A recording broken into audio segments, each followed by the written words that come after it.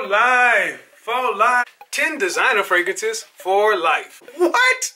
Welcome to the channel where fashion meets fragrance. My name is Kevin Samuels. In today's video, I talk about if I could only have 10 designer fragrances for the rest of my life, what would they be? What the hell? But videos like this are hella cruel. If you like these kind of videos, cool. Go ahead and subscribe to my channel to turn on notifications for future video and live stream updates. Show your boy some love. 10 designer fragrances for the rest of my life. Oh my God, what a monumental task. Look, I can pick 10 fragrances from two houses that I like and they will last me a lifetime. So I had to sit down and really think about it. How would I do this list? And how would I make it make sense for you guys? What I decided to do was I had to look for a fragrance that would be signature scent worthy, that could be worn year round, almost in any season, but you also have to throw in things for clubbing and dating and special occasions. And to just get 10, oh my God, and you know what? Look guys, this is a painstaking list, but I'm one of the ultimate criteria is each one of these fragrances had to be able to be worn by itself. When you look at fragrances like this, Bonafide bangers, and they didn't make the list, tells you how difficult it is to form a list like this. Come on, again, Bonafide bangers, classics, a great rose, a killer incense, but they didn't make the list? Wow, this was freaking hard. But it was my intent to not let you guys down, so I'm going to start out with one of the easiest dumb reaches of all time. Thierry Mugler's Mugler Cologne. Yeah, Mugler Cologne. This is the dumb reach fragrance. You can never overspray this stuff. It's Irish Spring, fresh out of the shower, fresh survives any reason, any season, top down, top up, just a great fragrance. Any place on the planet smell like this is always going to be a good thing and it doesn't cost a lot of money. Thierry Mugler's Mugler Cologne starts off my 10 must-have fragrances for life. Next, we're going to go to the house of Chanel, and we're going to go to Chanel Egoiste. This spicy, sexy sandalwood fragrance is great, especially if you're a grown damn man over 30 years old. This is signature scent worthy. Smells so good, so underused, so underutilized. I still haven't finished all of my Chanel week stuff, but I wanted to go ahead and get this video out. Chanel Egoiste. I think more you guys need to go put your nose on this one. Not platinum, the original Egoiste. And if you can get the concentrate, yeah, but don't sell a kidney for it. Chanel Egoiste, another one of my 10 designer must-haves for life. Next up from the house of Hermes, we have Terre Hermes. Look, I had to get something kind of citrus in here, but this citrus, gunflint, and vetiver fragrance compliment monster. Honestly, I recommend this fragrance to most guys when they're building a basic fragrance wardrobe. It's one of the six fragrances I think any guy should have because it does so many things. So multifaceted, classy, classy, sophisticated, all the good things you want, simple, easy to wear, past the white t-shirt test. Not enough good things to say about this one. Terre Hermes is another one of my 10 designer must-haves for life.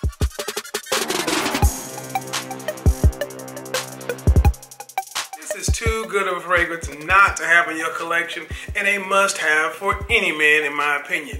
I always say this, the Marlboro Man steps off the billboard, crisp, clean, masculine, sexy, especially if you're over 30. Over 30, get the eau de toilette. Over 40, get the eau de parfum, sit back and let it roll. This one, this one, oh my God, this one. This one is so good that I actually had to make a small video clip and insert it into the video. Before I put up this little slow motion thing, but you gotta know about Tom Ford Grey Vetiver about Eau de Parfum, one of my 10 designer fragrances for life. Boom! From the house of Tom Ford, we have Tom Ford Noir. This is probably a surprise to you. Most people probably would have thought it would have been Noir Extreme. And yes, it would have been Noir Extreme, except this is an amber, musky, powdery fragrance that fits this one category exceptionally well. Noir Extreme is a more gourmand, it's a more round, better when warm weather, but this is that powdery fragrance. It also has a touch of class, touch of sophistication, can also be blended with other things on this list to just make it more playful, more warm, more rounded. So many good things. One that's really overlooked in the fragrance community, Tom Ford Noir EDT. Yes, I have them all, the EDP, the Extreme, and the Anthracite, but this one? This one is special in its own right. Tom Ford Noir EDT, another one of my designer fragrances, must have for the rest of my life. Shocking, right? Following up Tom Ford, we have Chanel Allure Homme Edition Blanche. If you watched my videos last fall, I mixed this with Noir and I told you it did some incredible things. So it makes sense that they're on the list together. Again, this is one of the most underrated fragrances on the list. This is one of the most underrated fragrances from Chanel in my opinion. One that I kept walking by, but this this, oh my goodness. It fills the lemon spot on my list. It feels that lemon, sweet citrus kind of thing. Oh, so good, so good, so good. Allure Edition Blanche, fantastic fragrance. No need to keep passing it by. And if I was only gonna have 10, this is the one I would have from the Allure line. Must have for the rest of my life. Get it. You knew it had to be on the list. Acqua di Gio Profumo, the best designer fragrance on the planet, period. That patchouli, that incense. Look, guys, I go in about this one all the time. No list would be complete without this masterpiece. Yep, it's a masterpiece of designer fragrance in my opinion. Honestly, it was probably the easiest one to put on this list because it's so versatile. It performs, it projects, it's compliment, it's beast mode, sexy. It's just so good, so good. If you don't have this one in your life, what are you doing? Acqua di Gio Profumo, one of the best designer fragrances on the planet, period, and one of my 10 designer must-haves for life. Easy one. I got a surprise for you. Carolina Herrera, CH Men.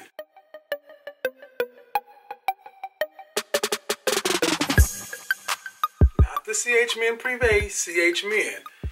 Why CH Men? Glad you asked. CH Men Privé actually a better fragrance, especially for date nights and romantic situations. But if you have to have a fragrance that's going to be able to be worn any season, any reason, for a lifetime, a lifetime, this is the better pick because it can go all the way from teens to death. It can be worn in any situation. Quintessential masculine, sexy elegance. This sweet nutmeg, cinnamon, leather thing that goes on. If you can get the vintage version, obviously it's better because it performs more. And that's the one thing against this fragrance. But again, the list isn't what 10 fragrances that would you want for the rest of your life. The question was, what are the top 10 designer fragrances that you'd want to have for the rest of your life?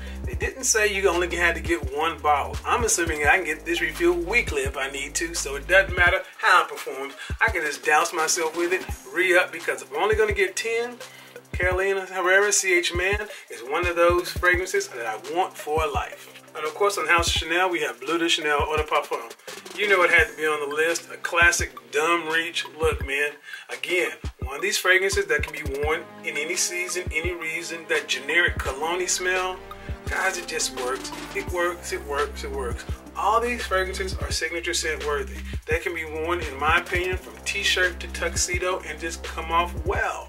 But this is my list. Again, I'm looking for a list that's going to go well from our teens, 20s, to 30s, to 40s, to 50s, to 60s, to 70s, to 80s, 90 to death.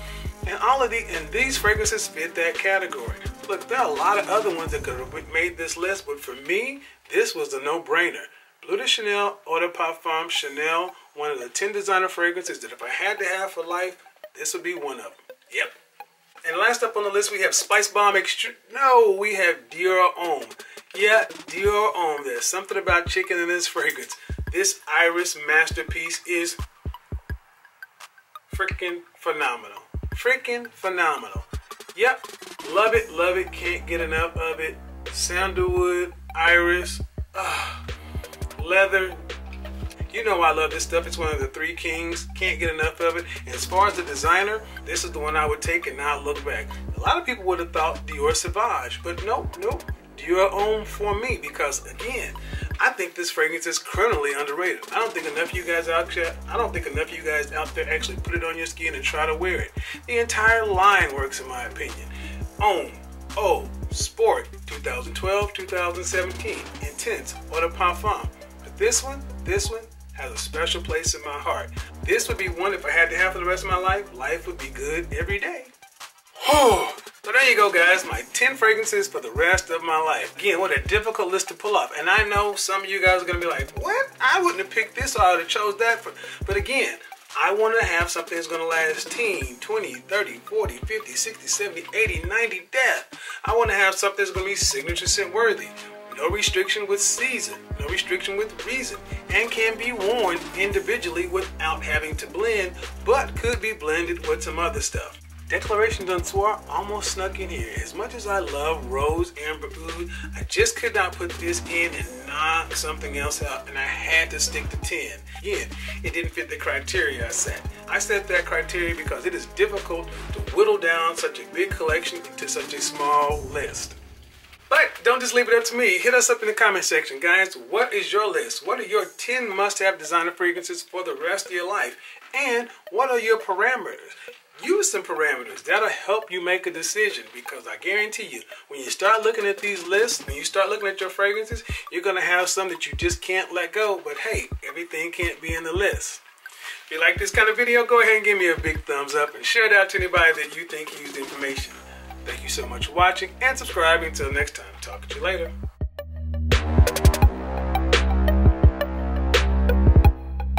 By the way, you want to stay connected? Follow me on social media. Links will be down in the description. Peace, two fingers, and I'm out. It's your boy. Woo!